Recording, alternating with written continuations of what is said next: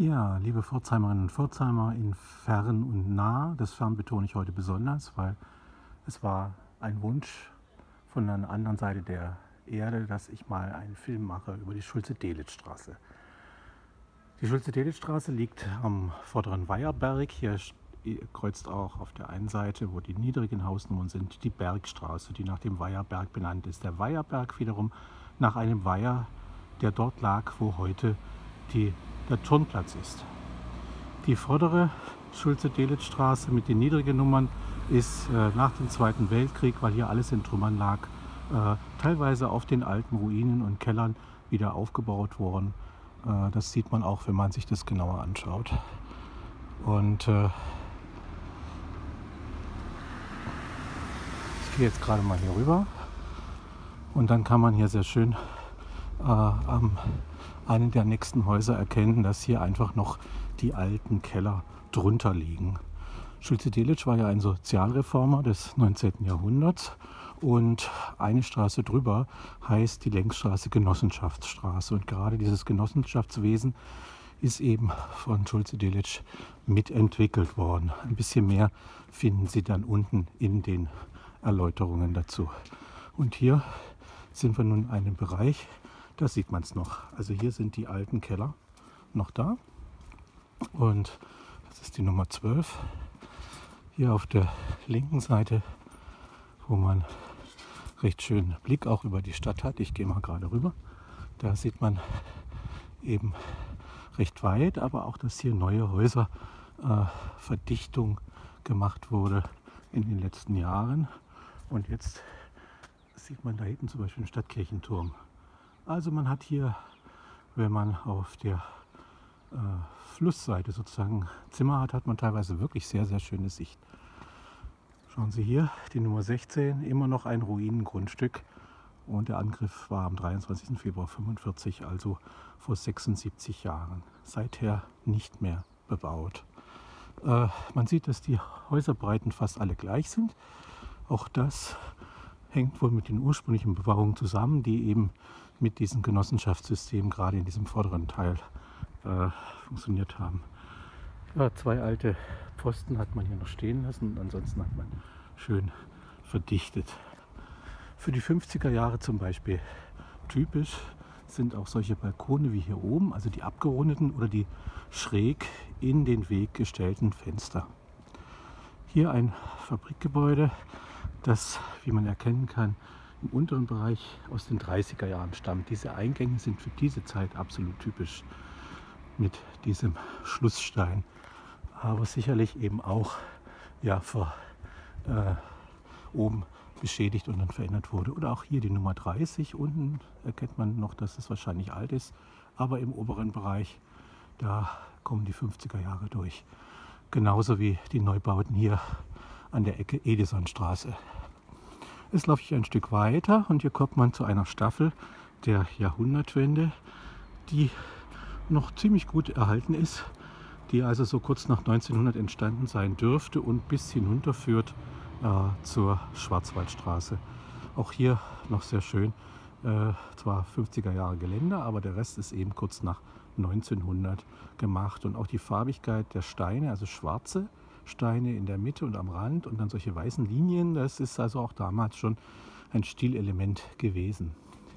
Die Schulze-Delitzsch-Straße, an ihr kann man doch recht gut erkennen, äh, bis wo sozusagen die Zerstörung ging und ab wo die Häuser stehen geblieben sind. Und zwar sind es die höheren Nummern, die auch unter Denkmalschutz stehen.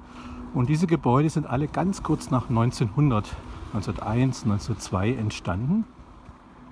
Und ja, wir haben hier noch alte Zäune und äh,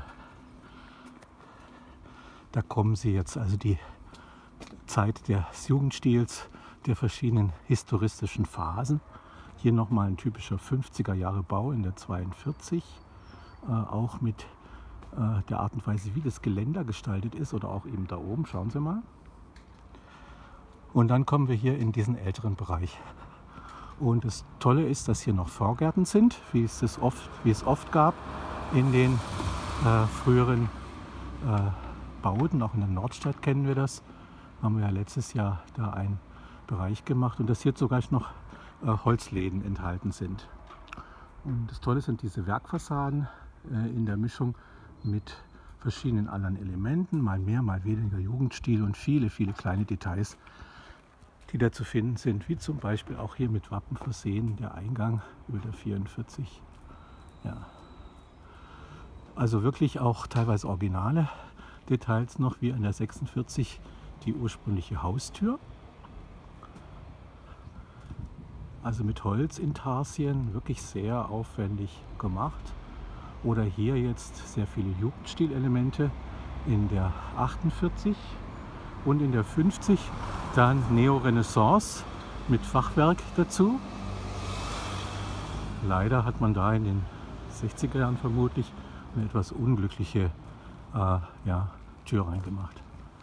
Genau, und hier oben sieht man dann zum Beispiel auch eine Jahreszahl 1902 dann die Holzerker davor und diese vielen, vielen Spielereien, die man hier hat. Wie gesagt, das besonders Schöne ist, dass die Vorgärten noch erhalten sind. Ähm, manche Häuser haben auch äh, ja, eine Vereinfachung erfahren, auch im oberen Teil, dass man also Teile der Schmuckelemente ein bisschen weggenommen hat. Das ist schade. Hier vorne am Ende der Schulze-Delitzstraße, wo sie auf die Nebeniusstraße trifft, hat man nochmal so ein Ensemble von Häusern, die alle A unter Denkmalschutz sind und B auch jetzt hier die Fenstergestaltung äh, sehr gut äh, sich am, Orient, am, Original orientiert. Äh, man kann den Unterschied hier besonders gut sehen. Also was Sprossen ausmachen, wenn man diese beiden Häuser, jetzt bin ich aus dem Gegenlicht raus, wenn man die vergleicht, äh, links und rechts. Ja. Das ist also hier jetzt äh, das Ende der Straße und hier vorne, äh, ja, das scheinen könnten Weinreben sein, die hier am Haus hochranken in der Bäckerei. Und die Einbauten hier vermutlich aus den 50er Jahren auch. Hier unten für die Bäckerei selber. Und darüber dann die andere Seite, die jetzt nicht im Licht liegt, aber wir schauen uns das nochmal so an. Ein schöner Ablauf dieser Häuser der Jahrhundertwende und eben sehr, sehr viele Details, die äh, das Ganze freundlich machen, auflockern. Auch zum Beispiel diese Holzelemente hier oben an der Fassade und eben die Zäune. Hier solche Blütenelemente, die hier herauswachsen. Dann auch die höher gelegten Stufen. Also hier wieder Elemente der Neorenaissance. Und bei der 51 und hier ein sehr äh, interessantes Motivgeflecht, das ja, an solche alten Schmuckwerke erinnert und auch hier zum Beispiel dieser Zugang zum Geschäft, äh, die Geschäftseinfassung, zwar nicht die Tür, aber diese Säule, dieser Pfeiler in der Mitte, der ist noch alt. Oder auch dann hier so ein bisschen äh, Übergang äh, praktisch Barock, äh, Klassizismus, äh, Zopfstil in dieser Fassade dazu. In der 47, aber auch wieder eine neue Tür. Also wirklich sehr, sehr schön gemacht. Und da oben sogar noch ein Aufsatz, eine Amphore äh, und wieder diese wunderbaren äh, ja, Bereiche hier mit den äh, Zäunen, die das Ganze abschließen. Also das war jetzt der kleine Film über die Schulze-Delitzsch-Straße mit einem Gruß äh, nach Ostasien, wenn ich mich richtig erinnere. Alles Gute den Pforzheimern auf der ganzen Welt. Bis zum nächsten Mal, Ihr Olaf Schulze.